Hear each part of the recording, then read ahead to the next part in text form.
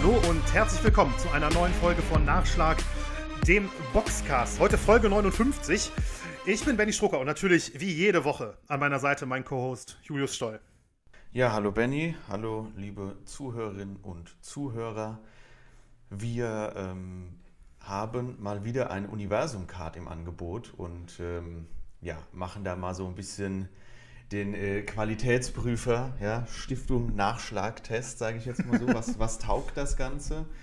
Ähm, wir schauen natürlich auf den jetzt etwas anderen Kampf von Manny Pacquiao, die Rückkehr, und ähm, haben natürlich Nachberichte. Wie war denn unsere, wie war denn unsere Wettausbeute am vergangenen Wochenende?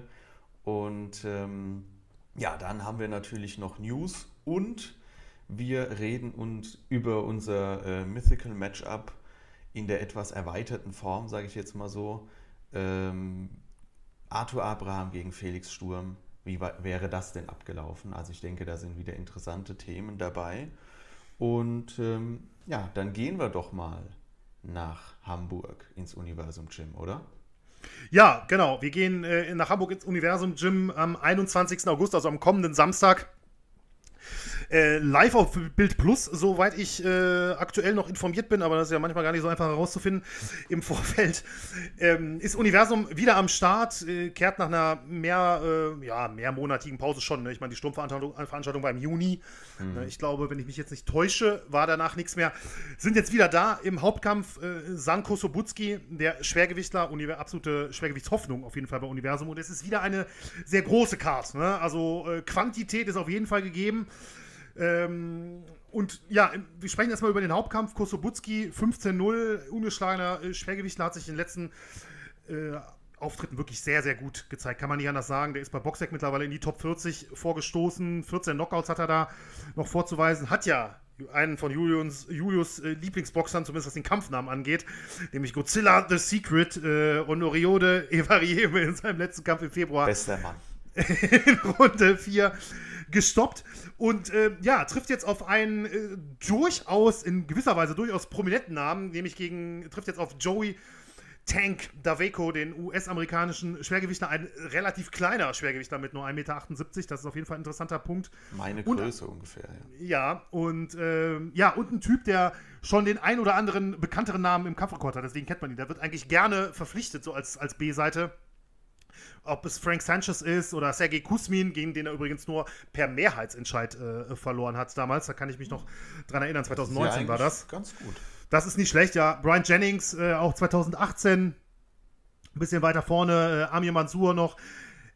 Es ist so, klar, er hat die Kämpfe verloren. Ne? Ähm, alle größeren Namen, die er geboxt hat, hat er verloren, außer tatsächlich Gerald Miller, als der seinen fünften Profikampf gemacht hat, 2013. Der Kampf ging dann tatsächlich unentschieden aus. Mhm. Ähm, Miller hat damals zwei Punktabzüge bekommen, aber okay, aber natürlich trotzdem ein Ergebnis, was im Nachhinein natürlich nicht so schlecht aussieht. Ja, würde ich auch sagen.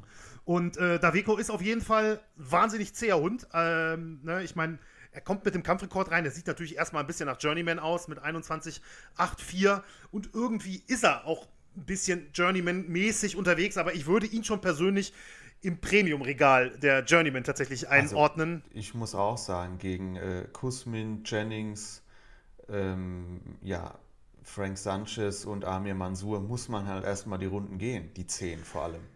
Ganz genau. Und da haben man, viele die Segel gestrichen. Richtig, richtig. Und man darf auch nicht vergessen, dass ähm, er hat tatsächlich auch schon dem ein oder anderen, äh, ja, Talent, in Anführungszeichen, das ist jetzt keine Supertalente gewesen oder ja. so, aber der hat auch schon den einen oder anderen mal gestoppt, der mit einem guten Kampfrekord reinkam. Ich kann mich noch erinnern, 2017, Kelvin Nunez habe ich hier äh, jetzt gerade nochmal aufgemacht. Mhm. Den hat er nach Punkten besiegt, der kam damals mit 15-0 rein. Gleicher Kampfrekord, äh, was das angeht, wie Kosobutski. Davor, Demetrius Banks ist auch so ein Name gewesen, so einer, den man in den USA, wo man mal gedacht hatte, vielleicht wird der was, den hat er in drei Runden gestoppt.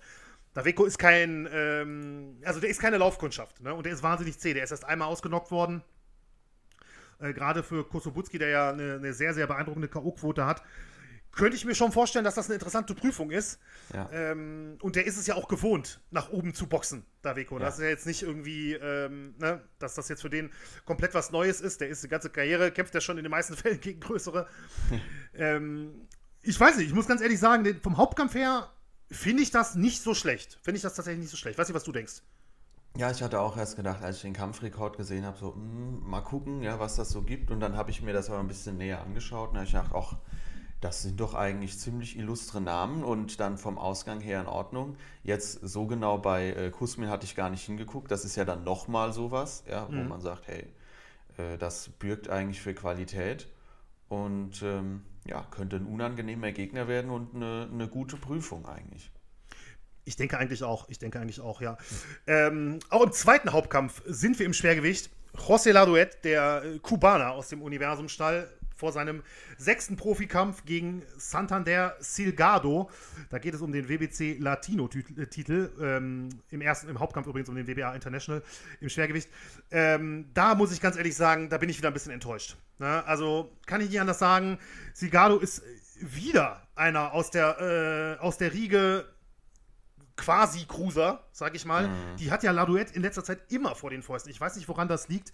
Ähm, der hat zwar natürlich schon ein paar Schwergewichtskämpfe gemacht, aber da muss man auch sagen, wenn der ins Schwergewicht gegangen ist, egal ob gegen äh, Cassius Cheney oder Chess Witherspoon, Tyron Spong, der hat noch nie die dritte Runde gesehen da. Ne? Ja. Der geht einmal kurzrundig K.O. Und ähm, im Cruisergewicht sieht der Kampfrekord ein bisschen besser aus, wobei er da auch eine K.O.-Niederlage in Runde 1 gegen Christoph Glowatzki zum Beispiel hat. Und Kudra, äh, Kudra Kudryaschow. Ja. Ja, gegen Dimitri Kudryaschow. Also auch er hat ein paar bekanntere Namen geboxt, aber ähm, ja, da aber halt das wie. Ganze. Ja, das ist halt eben. ein ganz anderes Bild als äh, bei dem Gegner von bei Daveko, Kosobutski. Ja. ja.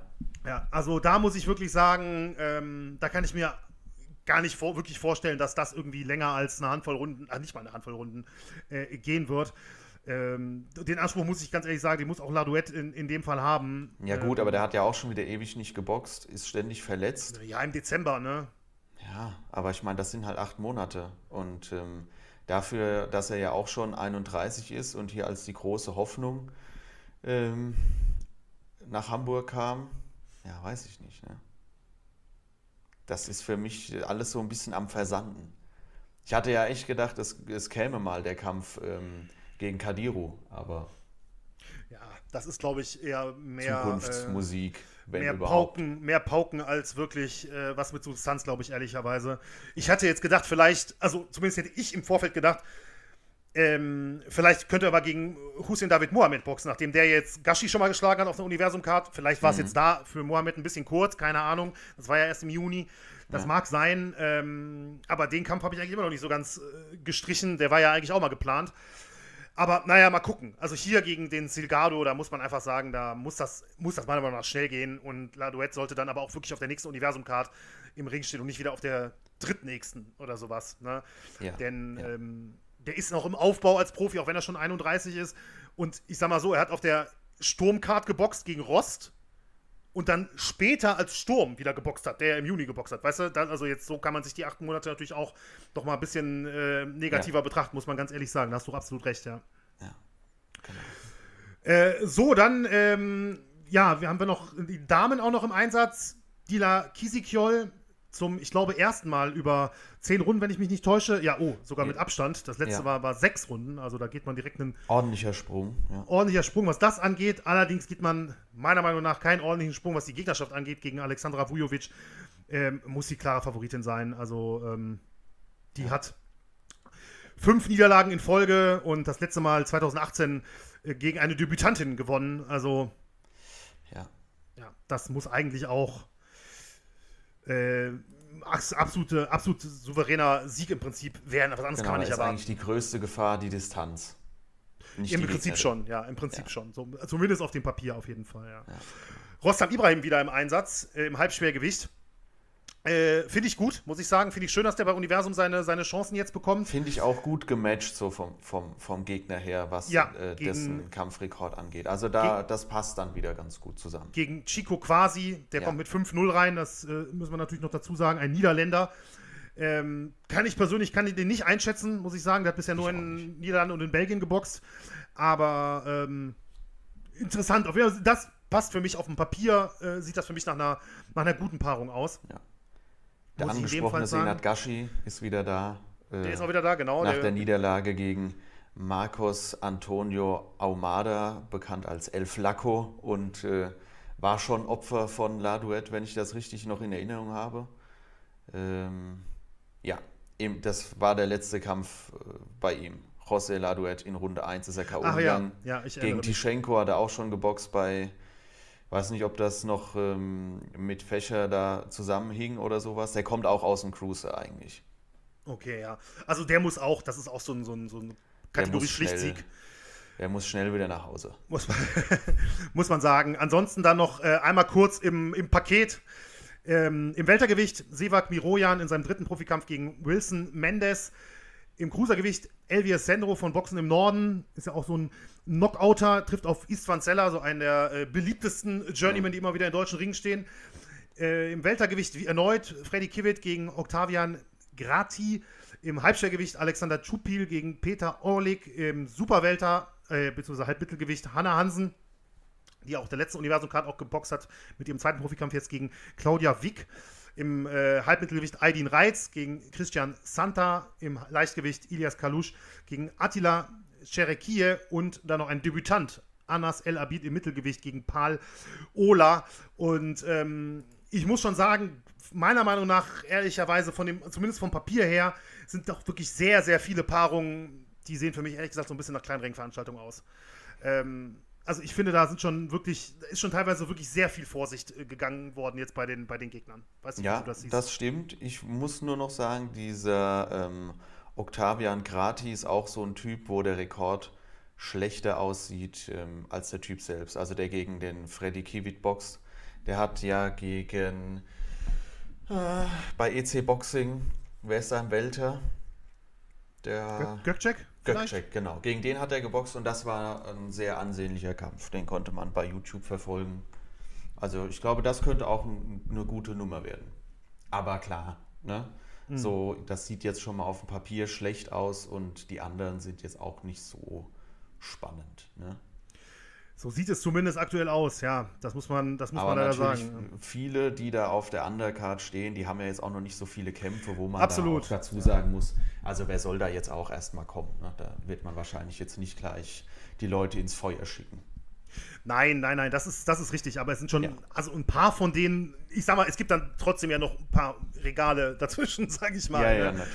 Ähm, warten wir ab. Vielleicht ist der eine oder andere dabei, der uns überraschen kann. Das äh, mag ja durchaus auch möglich sein. Keine Ahnung. Es sind auch einige Sachen dabei, ähm, die kann ich, kann ich gut verstehen. Wie zum Beispiel bei Ilias Kalusch, der ist ja zuletzt im Juni äh, gegen Wladislav Baranov so überraschend K.O. gegangen auf einer Universum-Card. Mhm. Ähm, ne, in Runde 1 noch.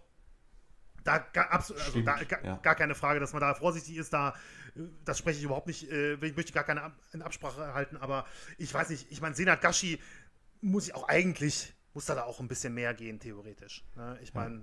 naja, gucken wir mal. Vielleicht ist ja trotzdem manchmal, ähm, ist ja trotzdem der ein oder andere Kampf dann dabei, der dann doch noch, doch noch ein bisschen mehr abliefern kann, als er vielleicht im Vorfeld auf dem Papier, auf dem Papier aussieht. Ja. So, dann äh, bleiben wir am Samstag und wir bleiben auch in Deutschland, zumindest noch ganz kurz äh, die Erwähnung, noch eine kleine ähm, Veranstaltung haben wir auch noch im Bauer Sportcenter. Ich würde jetzt einfach mal ziemlich sicher behaupten, muss eigentlich von Leon Bauer und seiner Familie äh, sein, weil er, aus, er kommt aus Hatzenbühl und ja. wie viele, so viele Bauer Sportcenter soll es dann da noch geben? Ja. Vermutlich, ja, in Rheinland-Pfalz. Ähm, eine Karte noch mit zwei Kämpfen, einmal im Schwergewicht. Umut Shamkiran, der von seinem 15. Profikampf steht, der steht aktuell noch 14 äh, zu 0, ungeschlagener äh, Türke aus Saulgau in Baden-Württemberg, 14 0 mit 13 Knockouts. Der trifft auf Morgan Dessau, würde ich jetzt mal behaupten, dass man das wahrscheinlich mhm. so ausspricht, aus Frankreich. Ja, würde ich auch sagen. Ne, verm vermutlich. Und ähm, dann haben wir noch eine zweite Karte, Anatoli Muratov im Mittelgewicht gegen Maikas Sujashvili. Beide Kämpfe aktuell hier, zumindest bei Boxrec, auf sechs Runden angesetzt, aber ähm, ja, finde ich eigentlich auch ganz nett, weil ne, ich, so ein bisschen, bisschen gefühlt Sommerpause hatten wir jetzt, glaube ich, schon ne, in, in, Deutschland. Schon, ja. Also ich meine, ich habe jetzt auch nicht dann alles gesehen. Fächer ist ja aufgrund von Bild an mir vorübergegangen. Ja, deshalb hat sich das für mich die Pause ja. ein bisschen länger angefühlt.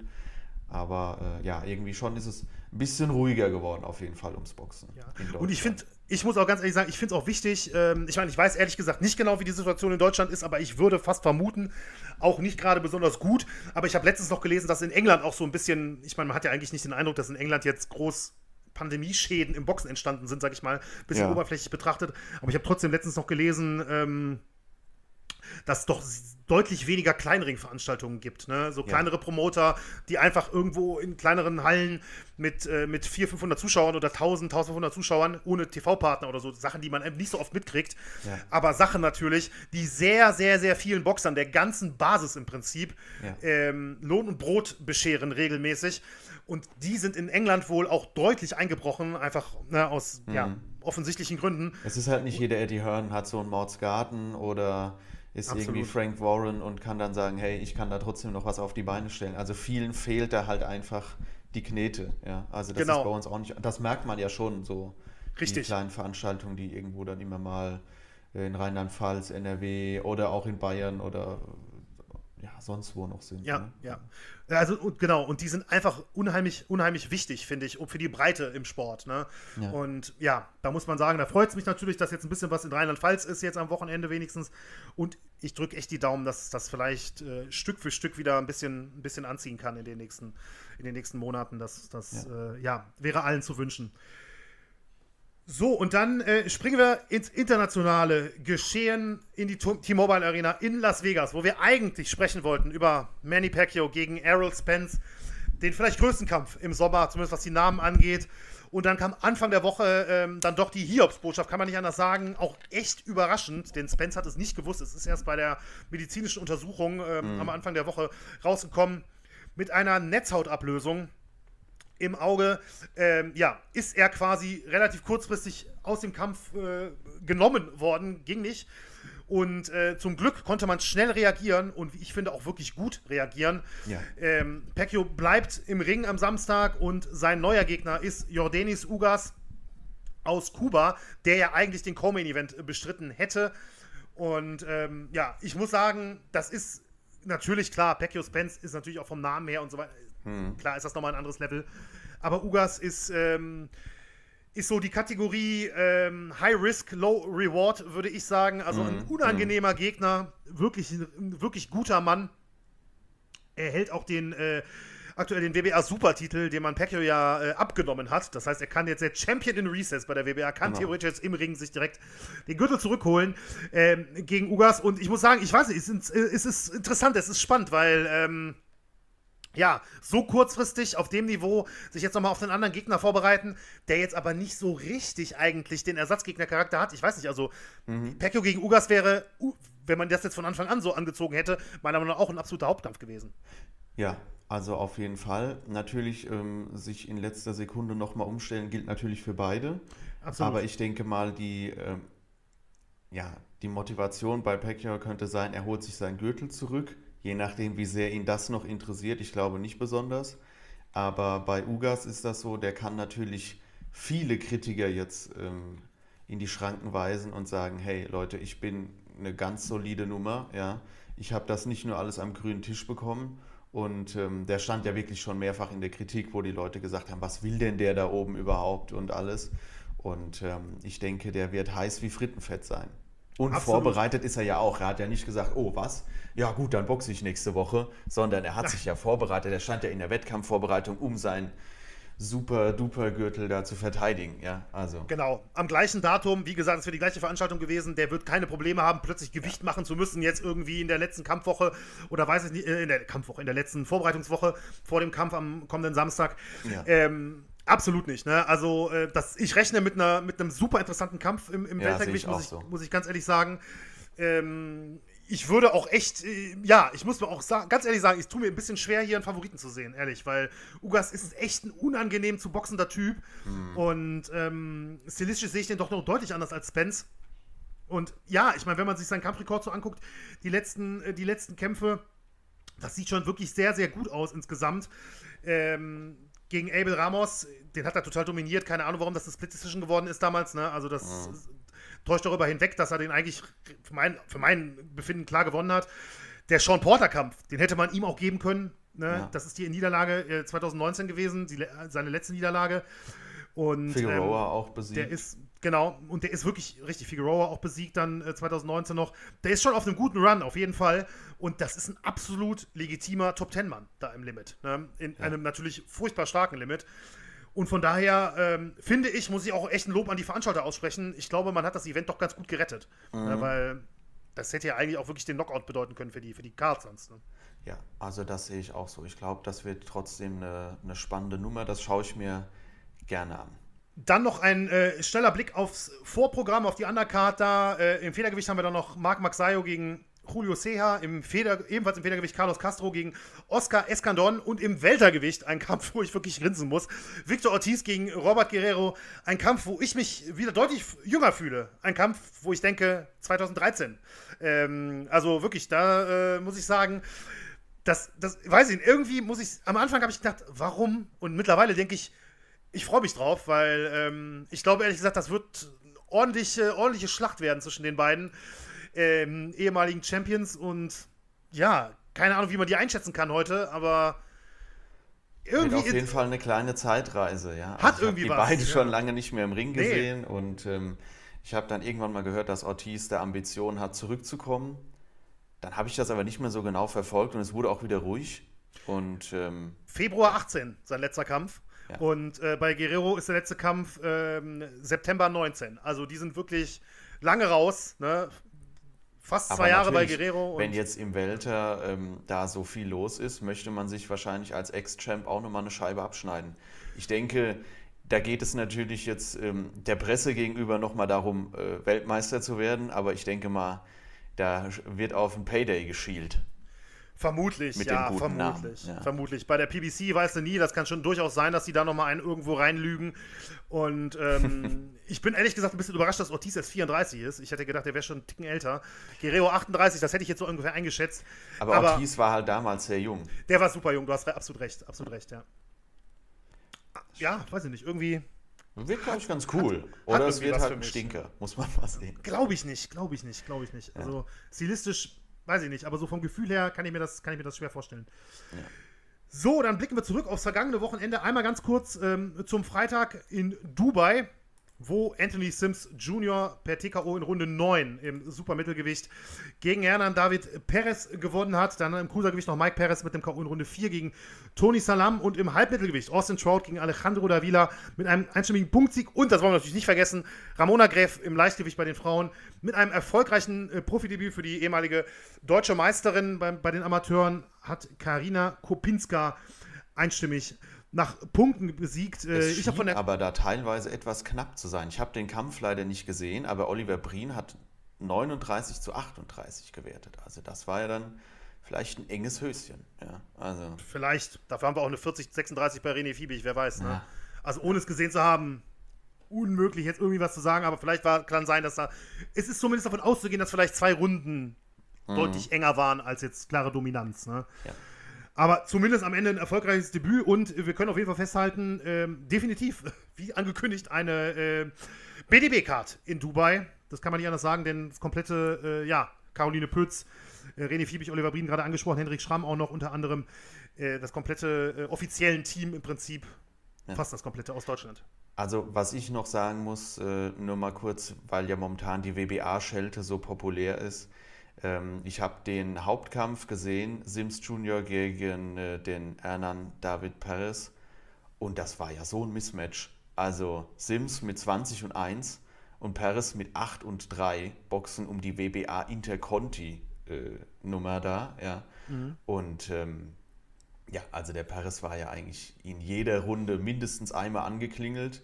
Und ähm, ja, also der hat eine richtige Packung bekommen und also das, das passte hinten und vorne nicht zusammen, dass sie um irgendwas boxen, was dann ein für eine sekundäre WM da irgendwie anbietet. Also der Sims hätte einen ganz anderen Gegner gebraucht, wenn diese Gürtel äh, legitim sein sollten. Ja. ja, also diese Interconti und International Gürtel, da muss man sowieso sagen, da kann ja keiner so wirklich folgen, wie auch, ich weiß, gibt es überhaupt Ranglisten davon? Ich kenne keine, ganz ich ehrlich. Ne? Also, also das wird doch auch ausgewürfelt.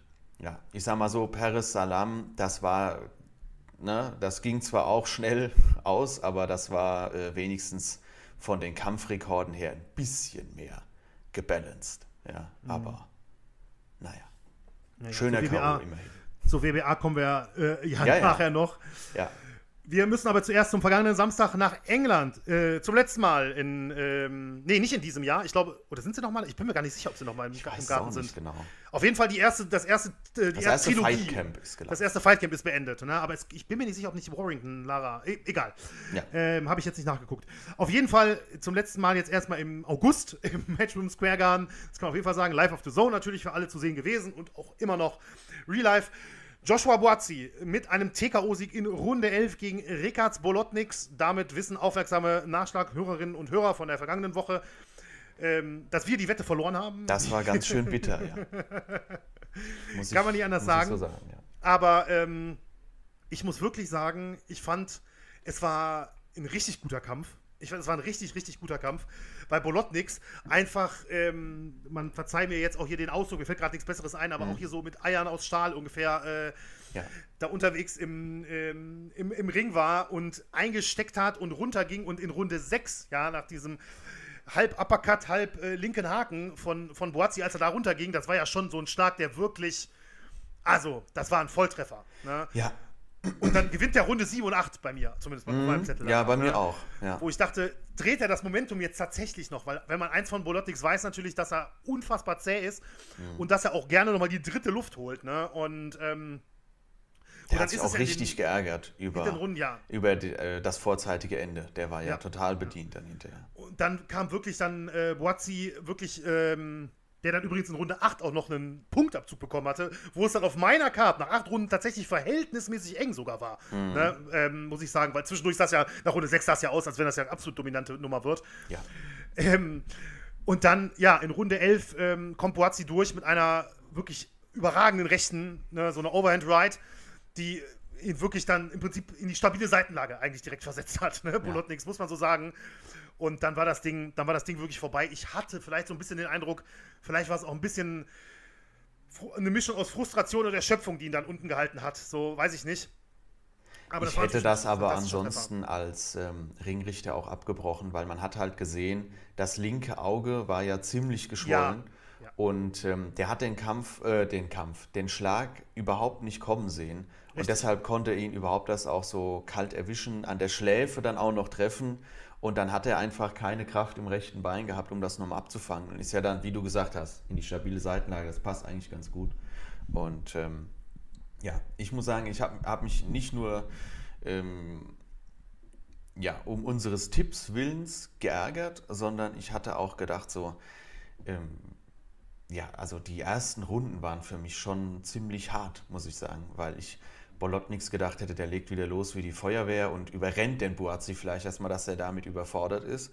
Aber der hat da schon gezeigt, dass er eine äh, gute Amateurlaufbahn hatte und hat das ja so gut mit dem Chap geklärt, wie Serge Michel zum Beispiel gegen Bolotniks nicht gelungen war, obwohl er ja auch einen guten Chap hat und das probiert hat. Aber ähm, ja, Buazzi hatte halt auch nochmal ordentlich Dampf in beiden Fäusten. Und ähm, ja, für ihn freut es mich natürlich, dass er jetzt auch bei uns ja, einiges gut gemacht hat. Absolut. Nachdem wir bei dem letzten Kampf gesagt haben, mega, ähm, mega Knockout, ne, feiern jetzt alle ab. Aber der Gegner war natürlich überschaubar und dass ihm jetzt natürlich ein, würde ich schon sagen, auch sehr ansehnlicher oder ne, also ähnlich guter, äh, ähm, in dem Fall steht jetzt TKO drauf, aber für mich war das auch ein K.O. Ja, also es ist einfach meine Ansicht, weil Einschlag und Bumm, ja. ja, ja. Aber ähm, also, dass ihm das gelingt gegen so einen Mann, Hut ab. Ja, also Find der kann sich jetzt wirklich ähm, da im Halbschwergewicht einiges auf die Fahne schreiben.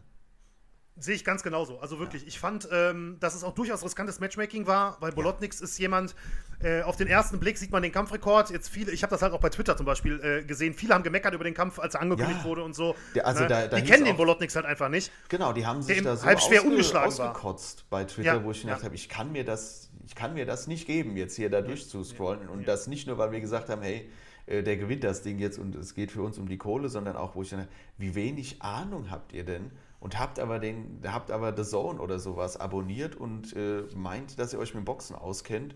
Und dann heißt es, ach ja, das ist ja wieder so eine komplette äh, Pushover-Card, ja, alle Gegner sind Pfeifen und und und.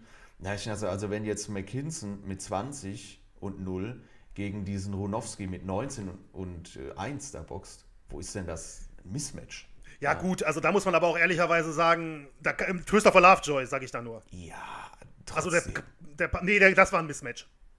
Ja, das war dann eine also sehr Card, eindeutige Nummer, aber ich hätte tatsächlich den Bonowski ein bisschen mehr ausgerechnet, muss ich okay, ganz ehrlich okay, sagen. Okay, gut, das kann man, klar, das, das mag natürlich sein, aber im, im, Endeffekt muss man sagen, die Karte hat sich als sehr schlecht herausgestellt, ja, bis auf den Hauptkampf, ja, meiner Meinung das nach. War. Also das, äh, ist, ähm, das ist wahr, das wollen wir auch nicht schönreden so, aber ich, ich denke mal so von, von dem, wie die Leute gematcht waren auf dem Papier, war das in Ordnung. Ja, die Kämpfe fand ich alle wirklich ziemlich schnarchig. Das muss ich, muss ich ganz ehrlich zugeben, bis auf den Hauptkampf.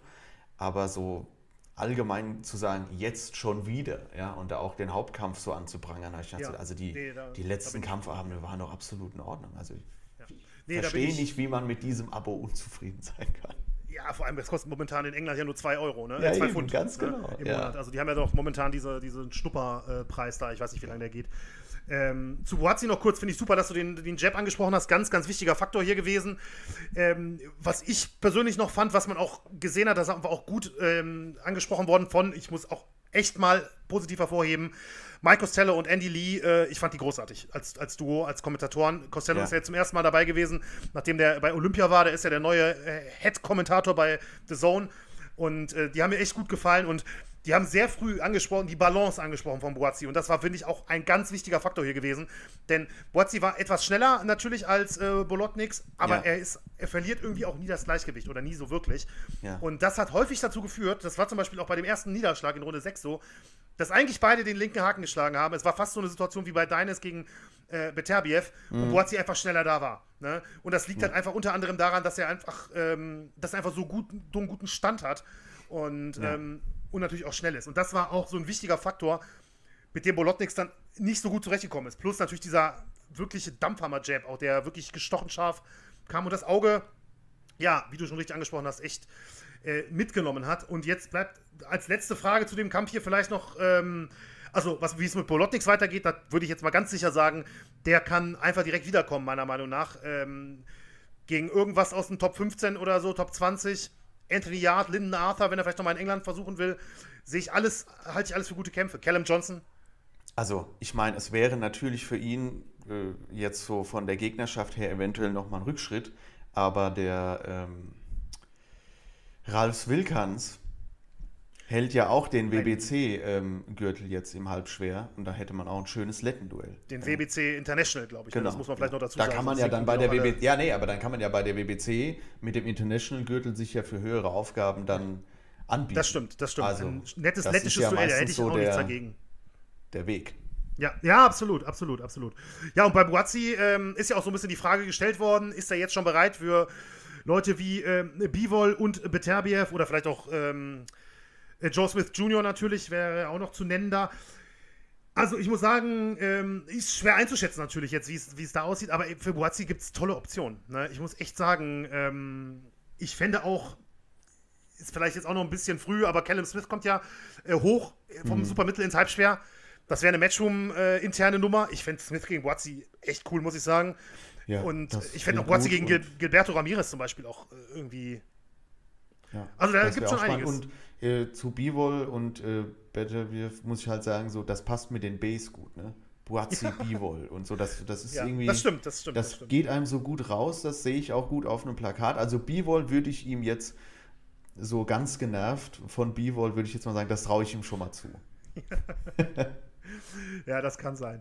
Ähm, so, ganz schnell noch kurz, äh, Julius hat es eben schon mal kurz angesprochen, im Weltergewicht Michael McKinson mit einem einstimmigen Punkt gegen Przemyslav Runowski im Federgewicht, äh, noch bevor die The Zone-Übertragung begonnen hat, also off offiziell auf dem The Zone-Stream mhm. begonnen hat. Raymond Ford mit einem äh, TKO in Runde 3 gegen Reese Bellotti. Cash Farouk, das fand ich persönlich noch relativ ansehnlich äh, gegen Luis Gerardo Castillo mit einem einstimmigen Punktsieg. Da die äh, wirklich eine Besonderheit, die ich vielleicht noch kurz mal ansprechen wollte. Ja. Denn äh, Castillo ist tatsächlich, ich weiß nicht, wer das nicht mitbekommen hat oder so, der ist tatsächlich taubstumm. Und ähm, das war wirklich eine faszinierende Geschichte. Auch im Vorfeld hat es da ein bisschen Berichte dann drüber gegeben. Mhm. Ne, sein Trainer dann mit, natürlich mit äh, Zeichensprache in der Ringecke, aber auch zum Beispiel die Signale wie die 10 Sekunden oder die Glocke, die dann irgendwie mit dem unteren Ringseil ähm, wackeln oder so, habe ich das verstanden, des Trainers äh, angezeigt werden für ihn, weil er natürlich nichts hören kann. Ähm, also wirklich hat mich echt fasziniert, muss ich sagen. Habe ich vorher noch nie gehört, ehrlicherweise. Ich weiß nicht, Ja, ob du also schon, das dir sowas ich schon mal auch- untergekommen ist. Das hatte ich auch noch so ähm, noch nicht mitbekommen. Ich hatte mal gesehen, ähm, Boxen für Blinde in Afrika. Das Mhm. fand ich auch sehr interessant, aber das ist natürlich komplett entfernt vom normalen Profiboxen, ja. Aber Ja. von einem taubstummen Profiboxer, das, also bis du mir das gesagt hast, habe ich mich nur gewundert, so, ja. Also, dass der so sehr laut boxt, sage ich jetzt mal so. Mhm. Also die gibt es ja immer, die äh, Kollegen, aber äh, bei ihm war das schon besonders auffällig und dann kam von dir der Hinweis, also das macht das natürlich wieder zu einer absolut spannenden Geschichte nochmal. Absolut, ja, absolut. Und ähm, im Leichtgewicht wirklich auch ein Statement-Sieg, keine Frage. Joe Cordina mit einem K.O. in Runde 1 gegen Joshua Hernandez. Das war auch so ein K.O. des Monatskandidat, würde ich sagen. Also der hat ja auch nochmal auf dem Boden nochmal gut Meter gemacht nach dem Schlag, muss ich sagen. Ähm, Im Superfedergewicht Selfa Barrett mit einem TK in Runde 4 gegen Viorel Sim Simeon und im Superbantamgewicht Hopi Price gegen Claudio Grande mit einem einstimmigen Punktsieg. Und ja, das vielleicht nochmal eben abschließend. Also die Reihenfolge, Hopi Price, ähm, Cash Farouk, Michael McKinson, die war doch, die Kämpfe waren ziemlich einseitig, K.O.s waren gar nicht in Sicht, ne? Ja, Fast je, da musste jedem, ich sehr mit mir ringen. ja, also, ähm, das war wirklich, ah, das war schon nicht, nicht besonders, äh, besonders gut gematcht, sage ich mal, muss ich, muss ich auch ehrlich sagen. das war, ja. Habe ich jetzt noch positiv ausgedrückt. Ähm, so, dann kommen wir zum Star in Frisco, Texas. Ähm, ich glaube, ich glaub, wenn ich das richtig verstanden habe, ist das die Trainingsanlage der Dallas Cowboys da irgendwie. Ja, ähm, ja. ne? das habe ich auch gehört, ja. Ja, äh, ganz spannend auf jeden Fall. Äh, wir bleiben bei The Zone in der Nacht, dann nämlich von Samstag auf Sonntag. Auch das ist natürlich noch Real Life zu sehen, wer es noch nicht gesehen hat. Golden Boy Promotions mit Virgil Ortiz gegen Egidius Cavaliauskas im Weltergewicht. Und was soll ich sagen? Erneut enttäuscht Ortiz nicht und das nicht nur aus äh, Ergebnissicht, sondern auch aus äh, ja, Spektakelsicht, muss man einfach sagen. Wenn der Typ im Ring steht, ist wirklich was los. Äh, er gewinnt durch K.O. in Runde 8 äh, gegen Kavaliauskas in einem, wie ich fand, richtig, richtig guten Kampf, in dem es schwer hin und her ging, in dem Ortiz in Runde 2 ziemlich in Nöten war. Er hat zwar im Interview danach gesagt, es wäre nicht so schlimm gewesen, wie es aussah, ähm, aber er wurde gut getroffen. Also ich fand schon, dass er da nach diesem Aufwärtshaken von Kavaliauskas doch wirklich äh, in Bedrängnis geraten ist. Aber unheimlich Das hat man sich ein bisschen wieder- schön geredet, fand ich, ja. ja, hat man auf jeden Fall. Aber ich fand umso beeindruckender, wie er danach zurückgekommen ist. Denn äh, Kavaliauskas ist ja nun auch wirklich ein Topmann im äh, Weltergewicht. Also Topmann, jetzt nicht die allererste Reihe, aber dahinter ist das schon jemand. Ne? Also Ich finde den super. Ich finde den auch super. Gegen den hat Vor mir musst du dich dafür für die Aussage nicht ähm, äh, ja, irgendwie entschuldigen. rechtfertigen, ja. ja. Ähm, und da finde ich schon, hat Ortiz auch wirklich was bewiesen. Ortiz hat bewiesen, auch wenn es mal irgendwie äh, ziemlich brenzlig wird und so weiter, ähm, behält er seine Linie, kommt danach zurück. Und boah, das ist, ähm, ja, ich bin, ich bin weiterhin echt begeistert, muss ich wirklich sagen. Wie, Das, wie geht's das dir? war schon so ein bisschen eine Feuertaufe wie bei Garcia gegen Campbell. ja, ähnlich. Ja. Wo der mal unten war und dann gezeigt hat, er hat trotzdem Kinn. Ganz so schlimm ist es ja für Ortiz in dem Fall nicht ausgegangen, nachdem er ja dann doch nicht angezählt wurde. Ähm, aber ich denke mal, es war ähnlich brenzlig. Mhm, Würde ich auch sagen. Ja, ich Ja, muss wirklich sagen, ich war auch von dem Kampf absolut begeistert. Und ähm, ja, Kavaliauskas ist auch in der Niederlage nach wie vor absolut stabil. Ja, muss ich sagen, der kann im Welter für jeden nach wie vor eine Herausforderung. Ob er jetzt so stark wie das besetzt ist, nochmal irgendwann Weltmeister wird, ist natürlich fraglich. Ich glaube nicht. Aber Nee, das, das glaube ich auch nicht. Aber das ist schon. Ähm, wie, wie fit der auch war. Unglaublich. Der, Ja. Sah ja, der sah ja aus wie ein Mittelgewicht oder so. Mean Machine eben, ja. Ja, so Tennisball, Bizeps und alles. Ja, Ja, ja. Wahnsinn. Kavaliauskas war wirklich, wird- er war wirklich super fit. Und dann muss man echt sagen, dass Ortiz ihn dann am Ende ins, insgesamt viermal runterschickt. Ne? Ähm, das ist schon, das ist schon wirklich, wirklich stark. Und halt mit diesem Jab, du hast den Jab bei Buazzi Der. Jab war auch toll, ja. Und das waren ja zwei Niederschläge mit diesem Jab, das war ja, Ja. der Power Jab wurde ja wirklich, angesprochen. wirklich, ja, ja Und, absolut richtiger ähm, Powerjab. Ich weiß jetzt nicht, ob du darauf hinaus möchtest. Möchtest du zu dem Kampf noch was sagen? Ich hätte jetzt eher versucht, ein bisschen nach vorne zu blicken. Gerne noch. Genau, noch, nee, noch deshalb wollte ich nämlich sagen, du hast vorhin das angesprochen, zur WBA kommen wir noch. Das Ja. war ja auch äh, für mich, da waren ja mehrere Niederschläge dabei, als äh, Chris Mannix äh, gegen die WBA ausgeteilt hat. Da kam ja ein Roast, falls du das äh, mitbekommen hast in der Übertragung. Ja, ich fand auch sehr lustig, ähm, wie Ortiz ähm, nach dem Kampf so keine Ahnung, wurde ja so ein bisschen gefragt, ne, Crawford mhm. geht jetzt weiter, keine Ahnung. Und dann hat er ja so im Prinzip äh, jetzt ich, sinngemäß ne, gesagt, ach, keine Ahnung, es passiert so viel Scheiße im Boxen, ich weiß gar nicht, was ich noch machen soll. Das war auch wirklich sehr passend für die aktuelle ja. Zeit. Ja. Also, ähm, ich muss auch wirklich sagen, keine Ahnung, ist er bereit für, für Crawford? Das ist ja so eine Frage gewesen, die gestellt worden ist. Ich weiß es nicht, ganz ehrlich, ich weiß es nicht. Er hat natürlich jetzt, wenn man den Quervergleich nimmt, Cavaliauskas eine Runde früher gestoppt, ähm, als es Crawford damals gelungen ist. Aber was sagt das schon aus? Im Prinzip gar nichts, ne? Also. Ich, äh, Entschuldigung, ich, äh, einen ja. letzten Punkt dazu. Ich hätte jetzt für mich, wenn ich jetzt der Matchmaker wäre, ähm, würde ich jetzt sagen, vielleicht geht man jetzt so in die Richtung Danny Garcia. Das ist für mich so vielleicht der nächste Schritt, sag ich mal. Der hat auch noch einen größeren Namen als Cavalier den kennen in den USA deutlich mehr Leute natürlich. Ne? Ja. Der hat auch noch größere Namen im Kampfrekord stehen. Ähm, weil Ortiz ist 23. Ich weiß, der ist jetzt schon ähm, ein Top-10-Weltergewichter für viele. Ähm, zu Recht, aber der hat halt auch noch wirklich Zeit. Und ich finde persönlich, so ein Garcia wäre jetzt ein durchaus sinnvoller Schritt. Aber ich weiß nicht, wie du das siehst. Ja, also ich kann dir da nur recht geben, so ein Kampf gegen Danny Garcia wäre wahrscheinlich der vernünftige nächste Schritt. Ich hätte aber auch nichts dagegen, wenn er jetzt gegen äh, Crawford boxt und das dann so wie bei äh, Teofimo Lopez gegen ähm, Lomachenko, ja. Lomachenko so eine, ja, so eine absolute Überraschung wird und dass da so ein Jungspund kommt und ähm, da dann doch mal überraschend gewinnt. Ja. Und ich muss auch sagen, Crawford ist in letzter Zeit irgendwie nicht so präsent. Ja, von daher, ich habe ihn schon fast wieder vergessen. Also vielleicht schlägt er ihn ja. Dann kann er da bleiben, wo er im Moment ist. Weg. Das äh, wäre auf jeden Fall. also ich, Fall also ich muss Nummer. wirklich sagen, so äh, von all denen, die jetzt immer so groß gehandelt werden als die besten Pound for Pound und haben vereinigt jetzt gerade oder sowas, ja. Und ähm, da wird Crawford immer genannt, aber ich sehe den nie. Von daher ähm, muss ich wirklich sagen, ich habe den langsam ein bisschen, habe ich den ein bisschen dicke auch bei Corona am Anfang diese ganzen Sachen, ja, ihr glaubt nicht dran, dass es das gibt und sowas. Ich denke, guck dir mal an, wie viele Kämpfe ausgefallen sind oder so, ja, wegen der ganzen Nummer. Also, äh, der hat mich zuletzt so genervt. Ich muss aber fairerweise dazu sagen, Lopez hat länger nicht mehr geboxt. Ja, natürlich. Also, ich meine, den habe ich auch nicht mehr auf dem Zettel, ja. ja. Aber äh, Crawford so. Pff ja, man kann, also was Crawford angeht, kann man nur hoffen, dass Sean Porter, der Sean Porter-Kampf jetzt irgendwann äh, in ja, sehr naher Zukunft kommt. Das ist für mich so eine überfällige Nummer und Weil das, das ist, das ist ein super Kampf. Ja. Ja. Ähm, und Ortiz, ja, dann, ich sag mal, gegen den Gewinner daraus auch total gerne. Man muss auch ehrlicherweise sagen, äh, also ich sehe das zumindest persönlich so. Ortiz ist auch noch so jung. Auch ganz ehrlich, wenn er jetzt, wenn er gegen Crawford kämpft und verliert, ja und? Ja, ist ja wurscht. Der hat doch noch, der hat doch noch, der hat doch noch zehn Jahre plus Karriere vor sich. Ja, Wen interessiert das? Ne? Ja. Ich meine, wen, wen, hat Canelo der, die Mayweather-Niederlage geschadet? Das ist doch das beste Beispiel. Ja, genau. Ja? Und der kann ja eventuell auch noch aufsteigen. Ich weiß nicht, wie groß der ist, aber ich meine, der muss ja nicht ewig im Welter bleiben. Dann geht er ins Halbmittel und keine Ahnung, wenn du Crawford. 23 bist. Ähm, und Ortiz ist 1,78, ähm, also damit ungefähr so groß wie Joey Daveco. Ja, genau. Dafür reicht es also, nicht, aber ich sag mal, Halbmittel oder so, ist absolut realistisch, klar, keine Frage. Ja. Das haben ja auch viele vorher schon gemacht. Genau. Ähm, so, dann noch kurz, äh, zumindest würde ich jetzt hier vielleicht den Co-Main-Event noch ähm, ja. anfassen. Da wären wir bei Roger Gutierrez, die Trilogie gegen René Alvarado.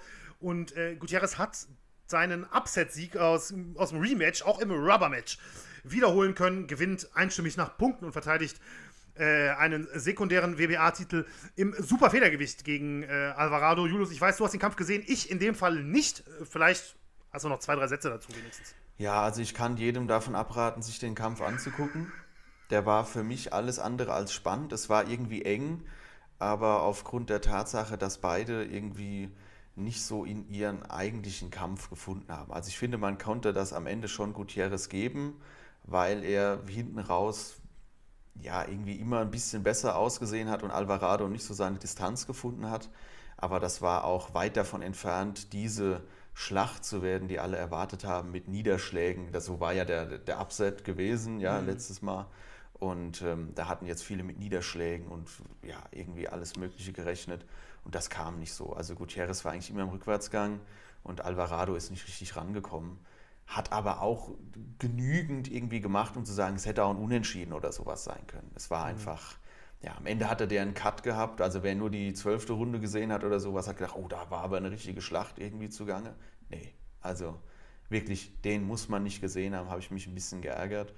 Und ähm, ja, immerhin sein Bruder, um das mal noch zu erwähnen, der Felix Alvarado hat ja auch geboxt und hat den Ersatzgegner Israel Vasquez in Runde 1 da abgefrühstückt. Das war eigentlich ein schöner K.O., TKO, ja, und ähm, das hätte ich lieber nochmal gesehen. Vielleicht noch ganz kurz der Hinweis, äh, nicht zu verwechseln mit dem Israel Vasquez, der äh, in den 2000ern ja, äh, mit dem gleichen Namen zwar, da besteht aber keinerlei anderer, Vergleichsgefahr eigentlich, Genau. ja, Verwechslungsgefahr. Ja. genau, genau, genau. Und ähm, ja, wer die, diesen Roast übrigens von Chris Mannix, der aus dem Experten-Kommentatorenteam sich nochmal anschauen möchte, der ist ähm, tatsächlich bei äh, The Zone auf dem Kanal, bei YouTube.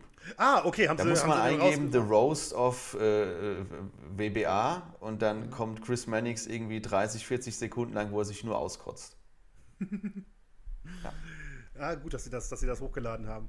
So, dann springen wir ähm, weiter. Wir bleiben in den USA im Dignity Health Sports Park, ähm, den Wargrounds, wo, ich glaube, das kann man nicht anders sagen, das Fußball begraben wurde am äh, vergangenen Wochenende. Ja.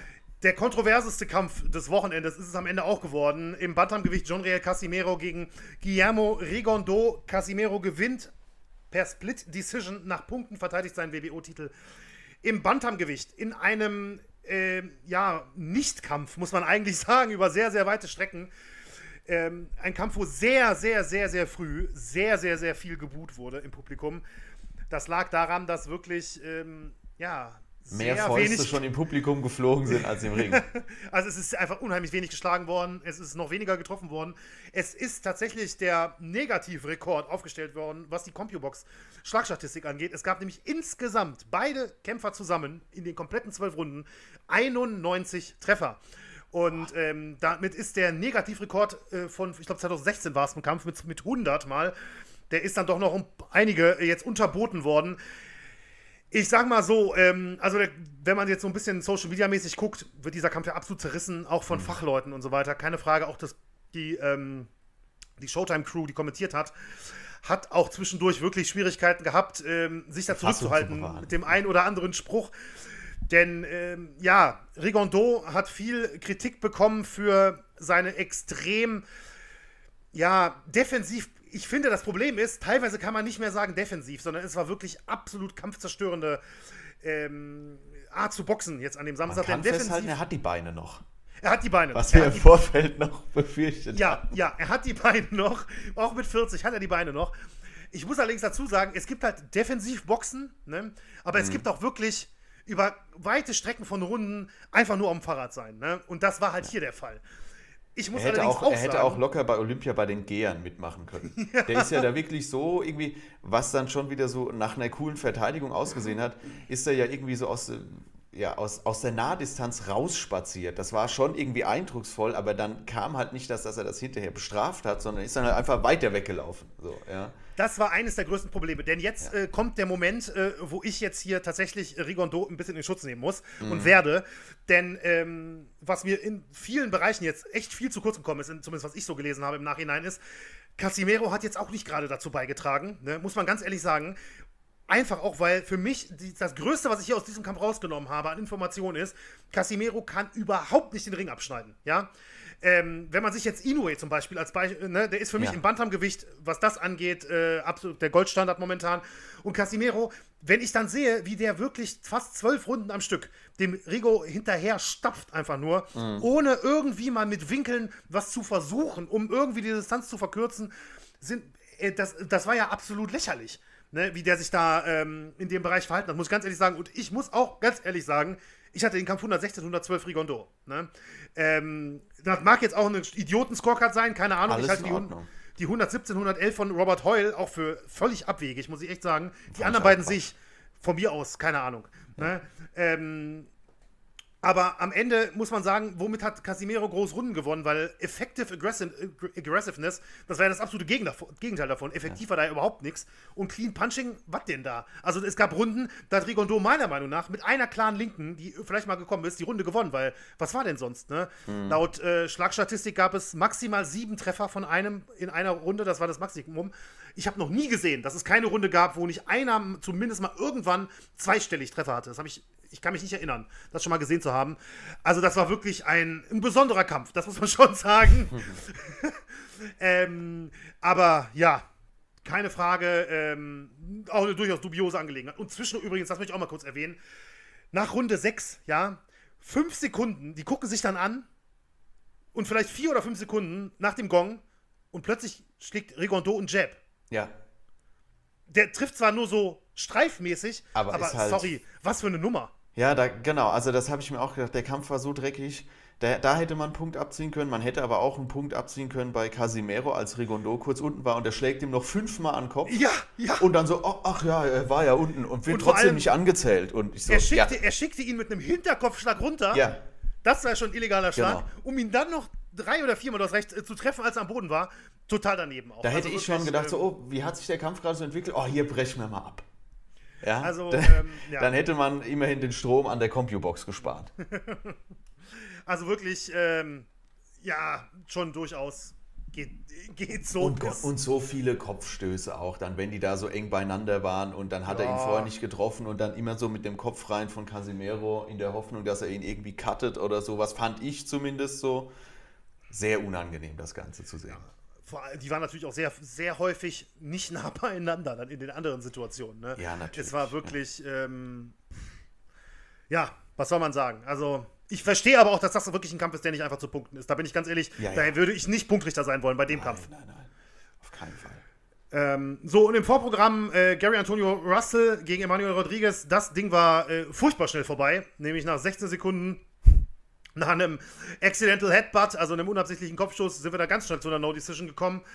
Ähm, Roshi Warren im Bantamgewicht mit einem beeindruckenden K.O.-Sieg. Also, er ist ja nicht gerade als Puncher bekannt, aber hat der mhm. Damien Vasquez ganz toll getroffen, der dann erstmal wirklich ähm, Moment noch stehen geblieben ist, aber dann gut, meiner, meiner Meinung nach gut rausgenommen wurde. Der war ja weg, ja, stehend K.O. im Das Prinzip. war absolut in Ordnung. Ja. Könnte man auch nochmal beim K.O. des Monats drüber sprechen. Ja, absolut, absolut.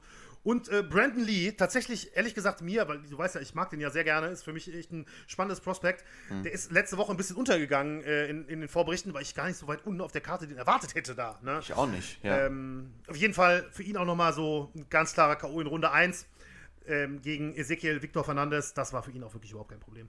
Nee. Drei Niederschläge. Fertig. Genau.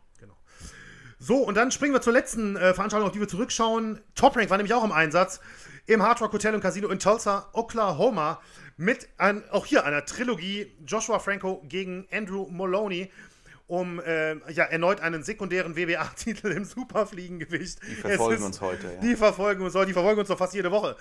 ähm, und da muss so ich auch übrigens. Äh, genau, genau. Äh, Franco, nach dem ja auch sehr kontroversen zweiten Kampf, der ja auch in der No Decision endete, da man erinnert an, sich an den 26-minütigen langen Videobeweis oder was, das sollte man mal in der Bundesliga bringen, was da los mhm. wäre. Ähm, ähm, Nein, äh, diesmal gewinnt Franco, für mich ehrlich gesagt ein bisschen überraschend, äh, erneut nach Punkten, wie im ersten Kampf auch schon weil ich fand ja Moloney in seinem zweiten am Anfang so stark aus, dass ich ihn ja. jetzt hier vorne gesehen habe. Und ja. er war auch der Buchmacher-Favorit. Also hier hat, was die Quote, Wettquoten angeht, der Außenseiter gewonnen. Und, das sei auch mal vielleicht dazu gesagt, es gab ja einen äh, vermeintlichen Niederschlag, ich weiß nicht mehr, in Runde 5 oder 6, ähm, der allerdings offensichtlich keiner war, der erst so gezählt wurde und dann in der perfekten Methode, wie man meiner Meinung nach im Boxen äh, den Videobeweis einsetzen sollte. Es hat 15 Sekunden gedauert während der Ringpause. Es hat nicht einen Moment länger gedauert, der Kampf oder irgendwas oder irgendeine Pause oder Unterbrechung. Gesagt, nein, kein Niederschlag, fertig, weiter geht's. Also das war wirklich top gemacht. Ganz ehrlich, ja. top gemacht. Ja, ansonsten muss man sagen, äh, Franco, ich denke, das Ding ist jetzt wahrscheinlich erstmal entschieden. Also ähm, mit zwei Siegen jetzt nach Punkten und er hat den ziemlich klar gewonnen. Er hat wirklich, ich weiß nicht, Moloney hat irgendwie nicht in den Kampf gefunden. Ja, es war richtig bitter für ihn. Also ich habe da wirklich nur ganz wenig von dem Kampf gesehen. Und ähm, der war hinterher ja zu Tränen äh, äh, gerührt und hatte halt auch nach dem zweiten Kampf, wo er so super reingefunden hat und beschissen wurde, finde ich. Mhm. Ähm, ja, hätte halt gedacht, dass er da das viel klarer gestalten kann und dann ist er so ins Hintertreffen gekommen. Also. Ja. Übrigens, weil es zieht sich jetzt auch hier gerade ein bisschen durch die Folge, mhm. die WBA jetzt hier nochmal anzusprechen, ne? Mit ihrem sekundären Titel. Auch hier ist während der Übertragung, ich weiß nicht mehr genau in welcher Form und wie, ähm, ein Gespräch zwischen Timothy Bradley und äh, Joe Tessitore, die mhm. Kommentatoren von dem, von dem Kampf Andrew Ward, ich weiß nicht warum, aber auf jeden Fall nicht dabei, ähm, wo sie auch darüber gesprochen haben und ich meine, ich meine, das ist ja auf top, eine Top-Rank-Veranstaltung, die ja ESPN-Partner sind, ne, wo das der Hauptkampf war mit dem Gürtel.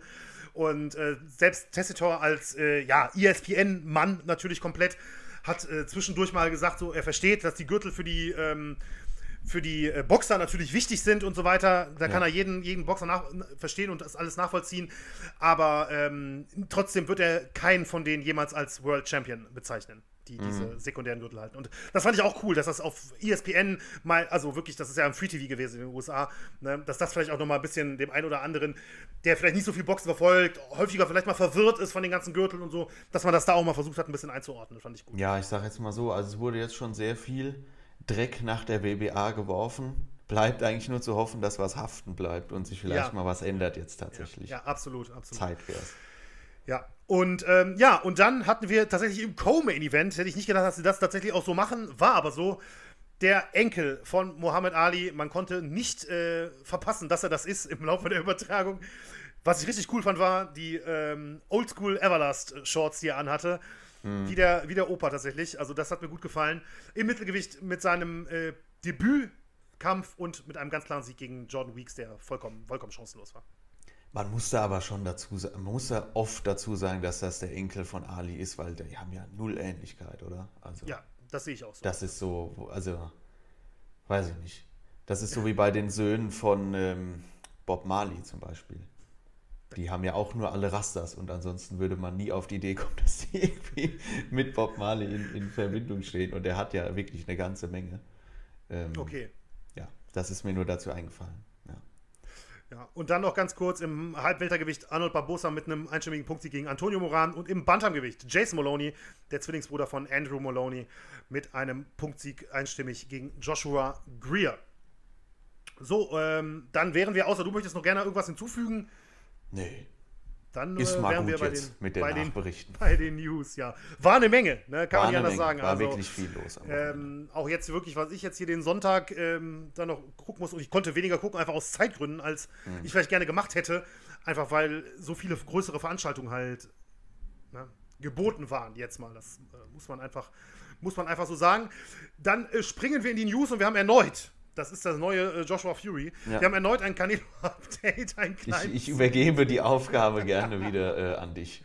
Das geht jetzt aber schnell. Wir ja. haben letzte Woche angesprochen, dass er nicht äh, im September boxen wird, nicht am Mexican Independence Day, sondern wahrscheinlich den November anpeilt. Und ähm, das wird so zumindest, also konkreter ist vielleicht ein bisschen übertrieben, aber ähm, es gibt viele Stimmen, unter anderem ESPN berichtet und bezieht sich auf mehrere Quellen, ist jetzt, zitiere ich jetzt mal so, äh, dass ja Caleb Plant tatsächlich wieder im Rennen ist und das wohl gar nicht so schlecht. Also die Gespräche sollen nicht nur wieder aufgenommen worden sein, sondern auch momentan gut verlaufen und es soll wohl auch schon geklärt sein, dass es tatsächlich für Canelo eine einmalige Sache ist bei Fox Pay-Per-View. Da wurde ja auch gemunkelt, ob das nicht auch ein Problem von der anderen Seite war, dass die gesagt haben, ja, Moment, okay, aber Canelo, wir wollen dich dann für drei Kämpfer haben oder so mhm. ne, bei, bei Fox äh, und bei der PBC. Also ähm, mal gucken. Ich sag mal, wenn es am Ende Canelo gegen Plant wird und dann nicht im September, sondern im November, zwei Monate später, ich denke, dann haben wir ihn halt einmal weniger gesehen, als wir es uns gewünscht hätten. Genau.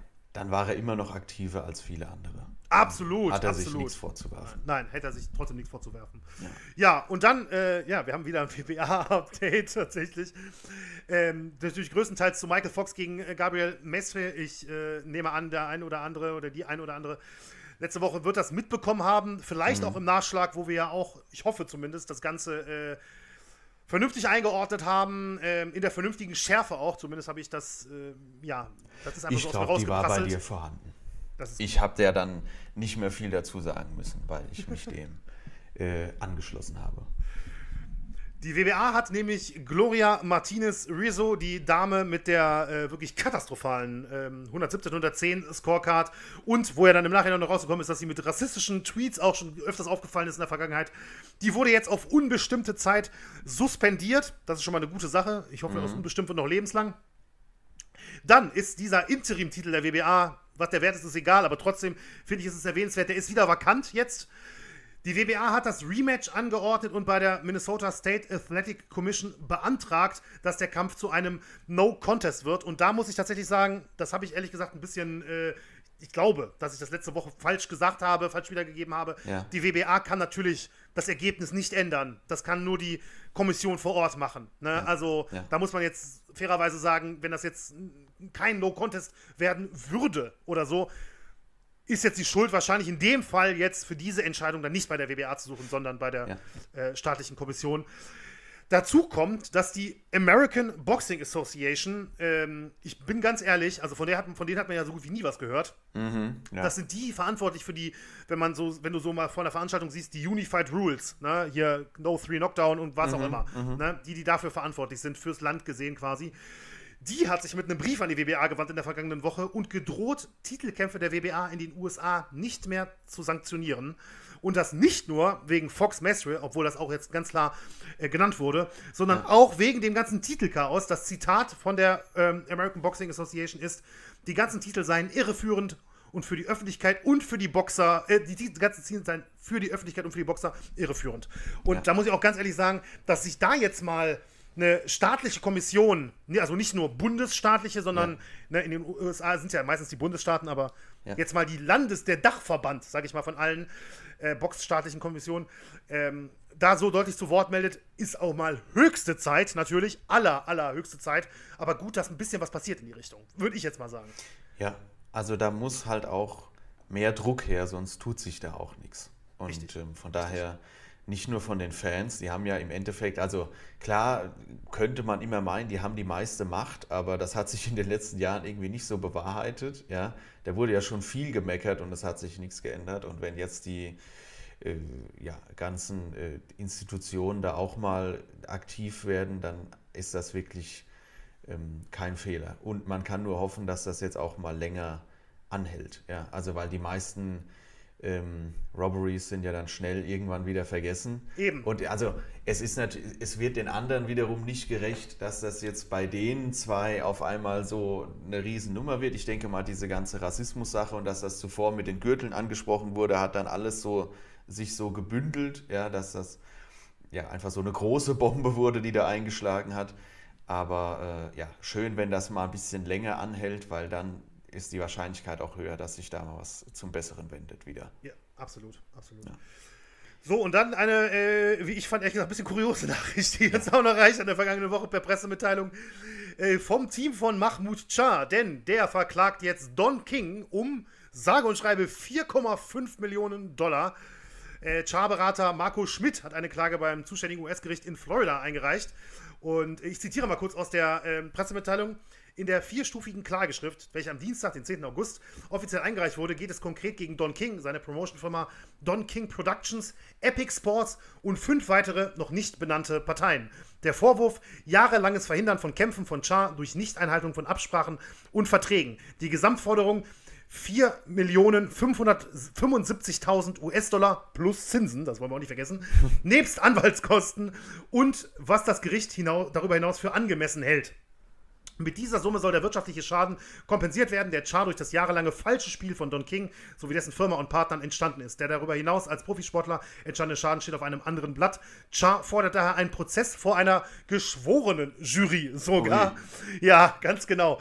Ähm, da bin ich natürlich viel zu wenig Jurist, erst recht in den USA, um einschätzen zu können, wie das irgendwie ähm, möglich ist oder keine Ahnung was. Ich muss, meine erste Reaktion war ehrlicherweise ich mag mich irren. Ich meine nur, wie ich im ersten Moment, was ich im Moment gedacht habe, ist aber viel Geld, was sie da fordern.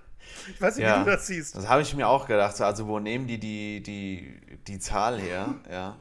Weil, ähm, Wahrscheinlich haben sie mit vier Char-Kämpfen pro Jahr kalkuliert oder ja, so. schätzungsweise. Ich weiß es nicht, ja. ich weiß es nicht. Ähm, oder dass er vier Jahre nicht im Ring war, also eine Million pro Jahr oder sowas. Also weil er war ja wirklich lange weg. Und ähm, ja. Oder er wäre vielleicht sonst Joshua-Gegner geworden oder so, denken sie. Und ich weiß ja. es nicht, aber keine sein. Ahnung.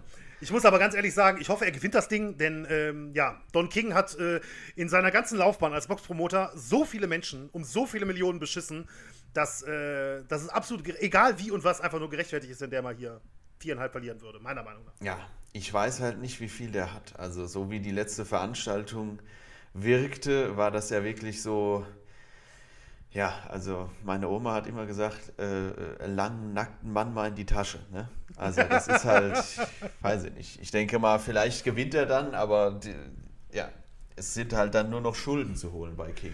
So ja gut, dann kann er, nicht. vielleicht kann ja King dann sein, ähm, sein, sein, was hat er, Bentley oder was putzen? In Sozialstunden oder so.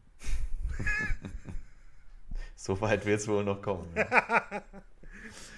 So, und dann haben wir auch noch ein äußerst kurioses Comeback, obwohl er, er selber sagt, es ist kein Comeback. David Hay, ja, David Hay, wer es nicht mitbekommen hat, steigt in den Ring am 11. September auf der Undercard von Oscar de la Hoya gegen Vitor Belfort gegen, äh, ja, den Milliardär und Hays persönlichen Freund Joe Fournier.